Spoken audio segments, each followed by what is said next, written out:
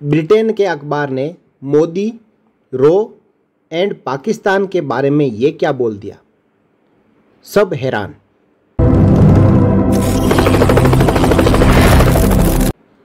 हाल ही में ब्रिटेन के एक बड़े न्यूज़पेपर, द गार्डियन ने कहा कि पाकिस्तान में घुसकर एक एक आतंकी का सफाया कर रहा भारत।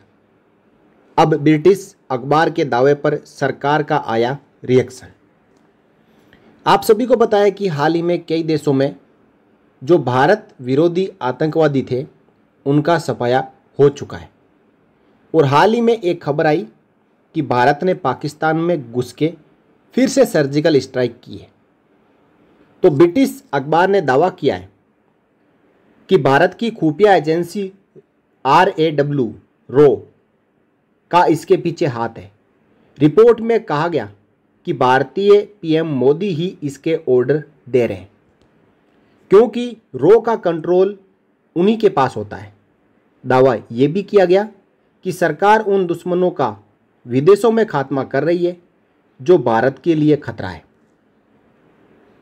तो इस प्रकार ये खबर हाल ही में प्रकाशित हुई है और इस खबर के मुताबिक जो कुछ विदेशों में आतंकियों का सफाया हो रहा है उसके पीछे भारत और भारत की रो एजेंसी का हाथ है। ऐसा कहना है ब्रिटिश अखबार द गार्डियन का। पाकिस्तान को भारत अब हर मुद्दे पर मुँह तोड़ जवाब दे रहा है। सर्जिकल स्ट्राइक हो या अंतर्राष्ट्रीय मंच, पाकिस्तान को बेबाक तरीके से जवाब दिया जा रहा है। वहीं पड़ोसी मुल्क में भारत के दुश्मनों का भी खात्मा हो रहा है। इसको लेकर अब ब्रिटिश अखबार द गार्डियन ने दावा किया और कहा कि इसके पीछे भारत का ही हाथ है। ब्रिटिश अखबार ने दावा किया कि भारत की खुफिया एजेंसी रो का इसके पीछे हाथ है। रिपोर्ट में कहा गया कि भारतीय पीएम मोदी ही इसके ऑर्डर दे रहे हैं, क्योंकि रो का कंट्रोल उन्हीं के पास होता है। दावा यह भी किया जा रहा है कि सरकार उन दुश्मनों का विदेशों में खात्मा कर रही है जो भारत के लिए खतरा है। ब्रिटिश मीडिया के दावों को भारत सरकार ने खारिज किया है। सरकार ने आरोपों का खंडन करते हुए कहा कि भारत कभी लक्षित हत्याएँ नहीं करता है, यानी टारगेट किलिंग भारत कभी नहीं करता है। रिपोर्ट में कहा गया कि भारत ने 2019 में पुलवामा हमले के बाद से राष्ट्रीय सुरक्षा के लिए एक साहसी दृष्टिकोण के हिस्से के रूप में ये ऑपरेशन चलाया है। रिपोर्ट के मुताबिक 2020 के बाद से पाकिस्तान में लगभग 20 हत्याएँ हो चुकी है, जिनमें अज्ञात बंदूकधारियों ने अंजाम दिया है।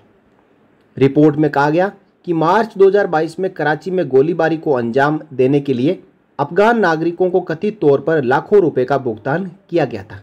वे सीमा पार भाग गए, लेकिन उनके आकाओं को बाद में पाकिस्तानी सुरक्षा एजेंसियों ने गिरफ़्तार कर लिया, जैसे मोहम्मद कमांडर शाहिद लतीफ़ को भी पाकिस्तान में ठिकाने लगा दिया गया था। यह भी दावा किया जा रहा है कि पाकिस्तानी जांचकर्ताओं ने पाया कि हत्यारे को लतीफ़ का पता लगाने के लिए एक गुप्त भारतीय एजेंट द्वारा कथित तौर पर लाखों रुपए दिए गए थे। तो इस प्रकार द गार्डियन ने आरोप तो बड़ा लगाया, लेकिन भारत ने इस आरोप को नकारा है। तो इसके पीछे असली सच्चाई क्या है? वो तो जो ये काम कर रहा है वही बता सकता है। लेकिन विदेशों में चुन चुन के जो आतंकवादी हैं, उनका सफाया ज़रूर हो रहा है। तो आपका इसके बारे में क्या कहना है? आप अपनी राय कमेंट बॉक्स में ज़रूर रखें और इस वीडियो को शेयर करें। फिर मिलेंगे नए वीडियो में नई जानकारी के साथ। तब तक के लिए जय हिंद।